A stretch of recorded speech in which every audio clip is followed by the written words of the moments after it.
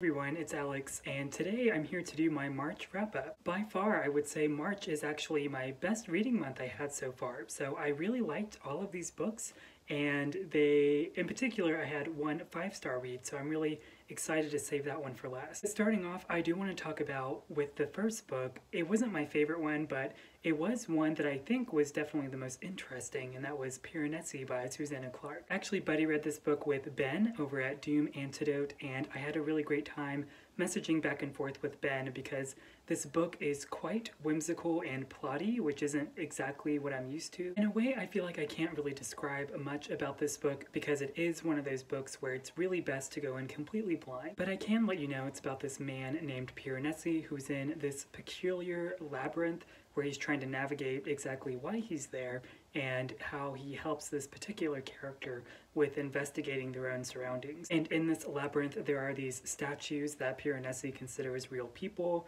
There are birds flying around. Sometimes the floor will just flood with water. And when I first started reading the elements to this book being stuff like this, I thought Clarke would have a hard time trying to control exactly what the purpose of all these things would be within her world building of exactly how the plot would be carried as well. And overall, while I think this book is a mystery, I think really the success of it isn't exactly trying to feel preoccupied by a sense of creative world building, but rather how believable it feels from Piranesi's perspective of really his exposure and his adjustment to all of these things because he's been in this place for quite a while. Because I think a facet of this book is in its own way challenging the reader in determining how much fiction is too much fiction? Why is it when something is literally fictional with what we see or hear, if it's any more less important based on how it makes us feel? I myself was very surprised with the ending of this book, but I really liked it a lot with kind of what, I, what it sort of like pulled off for me. I'll stop there, that way I don't say too much, but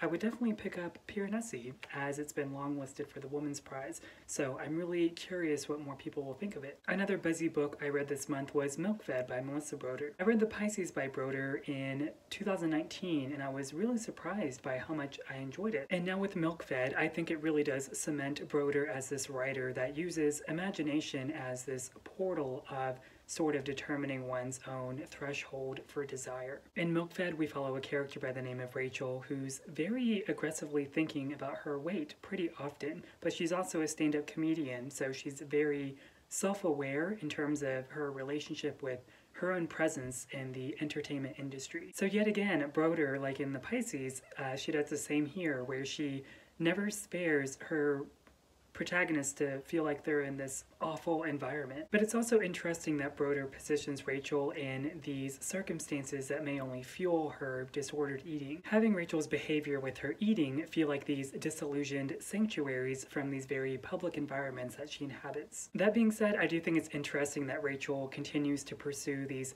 public perceptions of relationships with other people, sort of testing what the limits are of her own self indulgence with her behavior whenever exposed to other people, with Los Angeles as this perfect, uncanny backdrop. Otherwise, Milkfed had a lot of similar beats to the Pisces in terms of like desire and sex that I found a bit repetitive with this sort of second go around reading her. In the Pisces, I thought the concept of self destructive behavior was interesting because of its relationship with literal imaginary beings. Milkfed sometimes felt very uncannily suffocating with its constant surveillance in this case, of one's capabilities with one's body. So overall, I think Broder is someone who I really enjoy ideas from, but I don't know if they always work for me in the terms of being a story. Specifically with Rachel, I thought that Broder actually did a much better job with characterizing her within LA, so I think I would really love to see a short story collection from Broder in the future. So now moving on to a couple of nonfiction I read this month, with the first one being the Copenhagen Trilogy by Tove Ditlevsen. This is a collection of Ditlevsen's previously published memoirs, and they are called Childhood,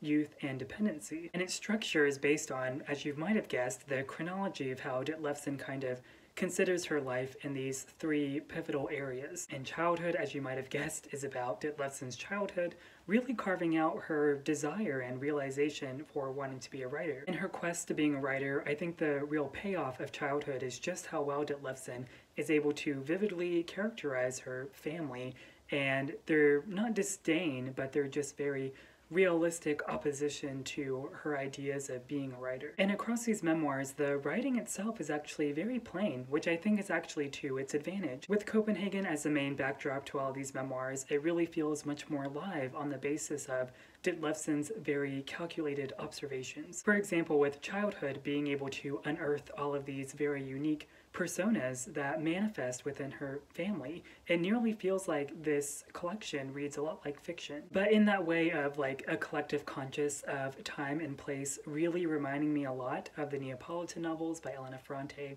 which is supposedly based or is at least very autobiographical. It really feels like Ditlevsen leaves no stone unturned as she will openly talk about things like love, sex, her marriage, and addiction. And particularly thinking about what it means to be a woman within this time with no less Hitler's rise to power in the background of her life. I just really liked reading this collection a lot. I loved Ditlevsen's sense of voice, and I'm definitely going to pick up one of her novels soon. And if anything, with this collection, there's one part that really sold me whenever a boy goes up to Ditlevsen and compliments her writing, and she basically wonders is He Single and Can I Marry Him? The other work of nonfiction I read this month is The Cost of Living by Deborah Levy. This is the second installment in Levy's series of memoirs, with the first one being Things I Don't Want to Know. And with Things I Don't Want to Know, I really liked it because having read Levy's fiction book, Hot Milk, before reading her memoirs, I felt like I got deeper insight into her relationship between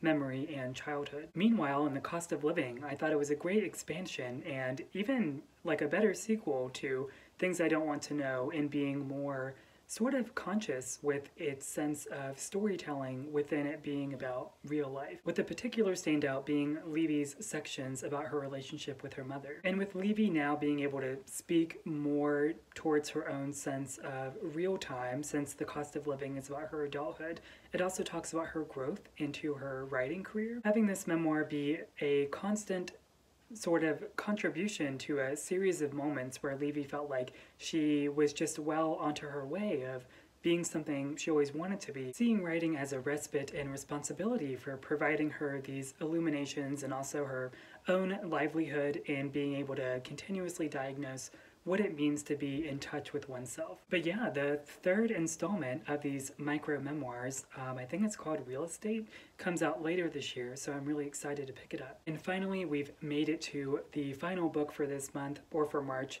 and it's my favorite book I read, and that is A True Novel by Minae Mizumura. I read this book for March of the Mammoths, where it's a readathon that I really love for BookTube, and its goal is to read a book that's 800 or more pages. So because I love to suffer, but also because I heard that this book is a retelling of Wuthering Heights by Emily Bronte, I was really keen to pick it up. And I know in a few past videos I've advocated this book as a retelling of Wuthering Heights, which is true, but I do think it is a bit of a disservice to purely call it that just because of its overwhelming sort of context to Japanese literature. We open with this book with a fictionalized version of Minae Mizumura through an autofictional lens of knowing that she's writing this book. Please don't click away. So in the time that we are introduced to this fake Mizumura self and her family, we do get this summary within this prologue section between their successes and failures within their life. And within that summary, we do get an introduction to this mysterious, brooding man named Taro. And this prologue section kind of ends on the basis of understanding that Taro is someone employed by the Mizumura family,